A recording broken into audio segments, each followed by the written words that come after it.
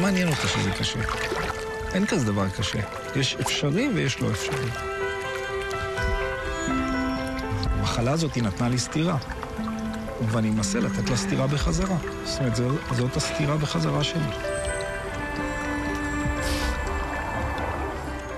בגיל 56, עם מחלה חסרת שם שפוגעת לו בשרירים, שי משיח נותן פייט למגבלה, לפני ששעון החול של החיים אוזל, לפני שהמחלה מתקדמת, צריך להספיק כמה שיותר, פשוט לחיות. כשהוא משאיר מאחור את אשתו ושני ילדיו במצפה חרשים בגליל, הוא יוצא למסע מאתגר באפריקה. ברכב מיוחד שהותאם לצרכים שלו, ועם מלווה מקומי שיהפוך לאדם הקרוב אליו בשבעת החודשים הקרובים.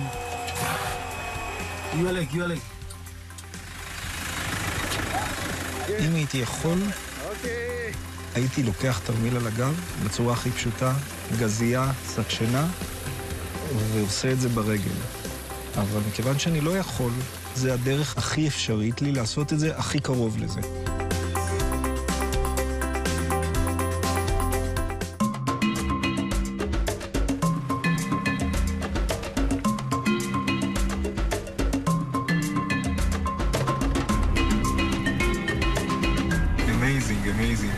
That's what I imagined when I thought about the immigration. יש פה בפלו. זה הראשונים שאני רואה. סמואל אומר שהם חיה מאוד אגרסיבית, הוא אמר לי לשים על drive כדי שאם הם יתרגזו קצת אז אנחנו ניסע. וכיף, כיף גדול. לא יודע, אחרי שלושה ימים אתה מרגיש פה כבר בבית.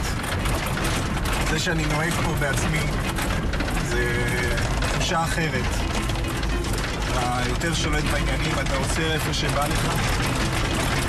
פשוט שמורה מדהימה. וההיילייט זה היה קרנף.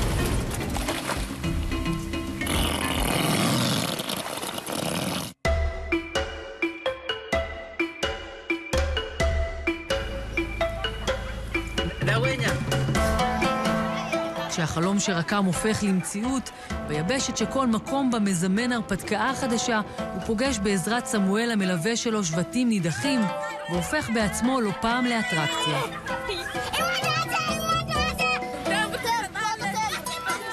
יש יתרון לסיטואציה הזאת, כי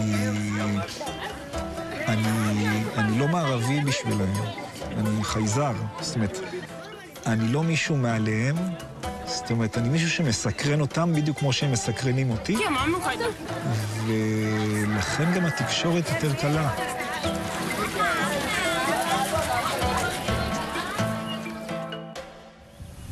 בוקר טוב, אפריקה. אז זה מקום מהמם שישנו בו בלילה, סוף סוף לישון במקום בטבע, לא קמפינג, לא אנשים, לא כלום. זה המחנה שלנו. להלן, סמואל מכין קפה, מכין דייסה, הכל מהמם בקיצור. אנחנו בדרך ללונגליאני, אה, שזה החלק הכי מאתגר בתכנון שלי של כל הטיול באפריקה. אזור שומם, מדברי. רוב המיטלים שפגשנו, שהם גם חשבו לנסוע בדרך הזאת, הם שמעו שהיא מאוד יפה ומיוחדת, אבל הם פחדו. ונראה מה שי הקטן מישראל יכול לעשות בנושא.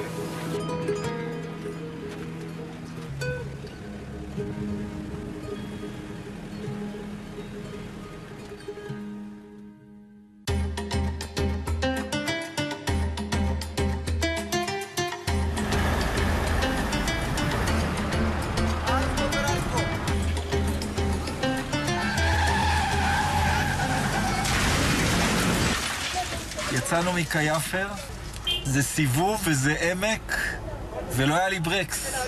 הצלחתי למשוך את האוטו לשיחים במדרון, תכלס הצלנו את חיינו ככה.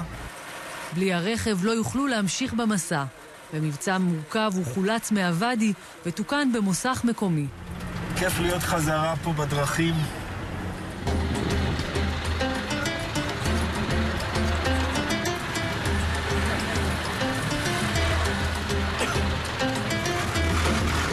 אחרי חודשיים לבד בטיול אינטנסיבי רק עם סמואל המלווה, שי מקבל חיזוק מהארץ. משפחתו אינה עומדת בגעגועים, מצטרפת לקטע במסע. הם נוחתים באתיופיה, ואת השבועות הבאים יעבירו יחד. משפט משיח הגיע, כמו שראיתם בהרכב מלא. Nice to meet Mashiach family. For me, it's also something interesting. Meeting your family in another country.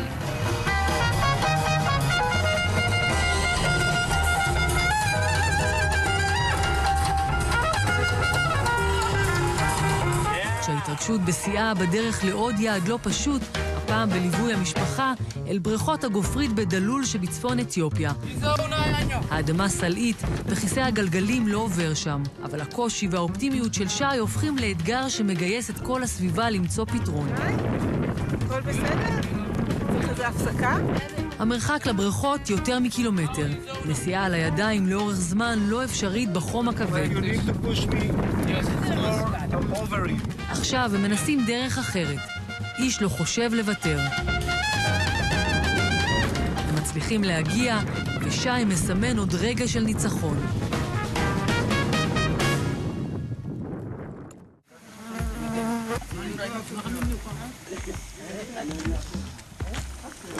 כאן ישנו פה ממיטת חבלים, כמו בדלי לפני 30 שנה. שחר של יום חדש. סמואל? אוקיי.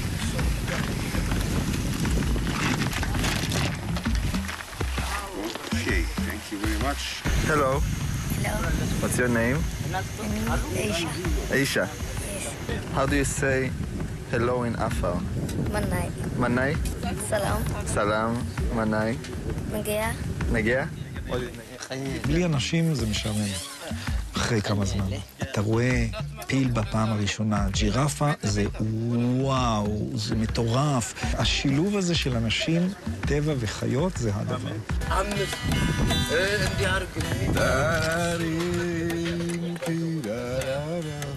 פשוט הזדמנות לראות איך הם באמת חיים שם.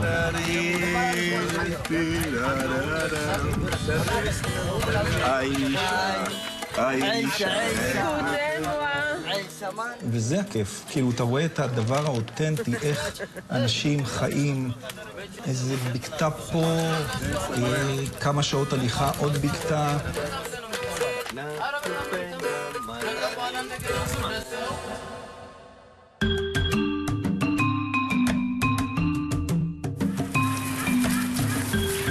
אתה שט כבר.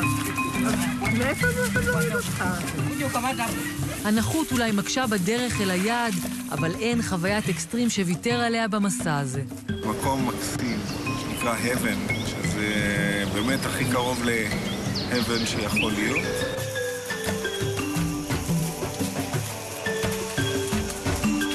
האנשים האלו פשוט לקחו אותי, פשוט ראיתי הכל. ישבתי על האדמה, במרחק של ממש מטר שניים מהגורילות. תינוק קטן שבא ונגע בי בעדינות בנעל, זה היה וואו.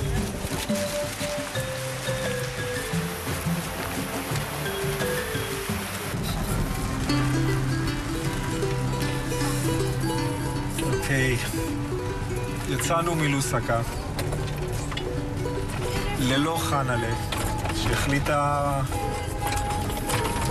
אה, בצער וביגון, ואני לא יודע אם זו החלטה נכונה, וגם היא לא יודעת. אבל היא החליטה שזהו, שהיא חוזרת הביתה, שקשה לה הגב, ומהרגע שיצאנו מלוסקה לא הפסיק לרדת גשם, ו... גילי רוביו נותן לנו פה את המוזיקה הדיכאונית שלו, יחד עם הגשם ויחד עם הפרידה מחנה'לה. מושלם, פשוט מושלם.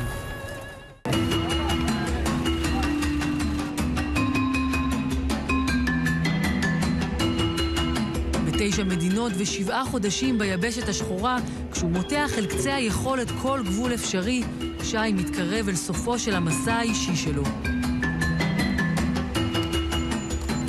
עכשיו כל פעם עושים משהו, זה מרגיש שזה אולי האחרון. אז זהו, זה צובט בלב, האמת. אתה כבר מתגעגע למשהו שעוד לא לגמרי עזבת אותו, אבל... אה, זהו. פגשנו את שי במצפה חרשים שבועות אחרי שחזר. מתרגל חזרה לשגרה הנינוחה בגליל, עדיין מנסה לעכל את מה שחווה. זה ניצחון אישי שלי, אבל זה גם משהו מרוח האדם. זה היה עוד איזה מקום כזה בלתי מושג, שאין סיכוי שאני אגיע אליו בחיים שלי. והנה, יש סיכוי, והנה הגעתי. בני משפחתי, נזכרתי בשיר שיבטא יותר מכל דבר אחר את מה שאני מרגיש, אז רציתי לשיר לכם אותו. זה הולך ככה. איך זה שכוכב אחד לבד מעז? איך הוא מעז? למען השם. אתם קולטים? אתם קולטים. זהו.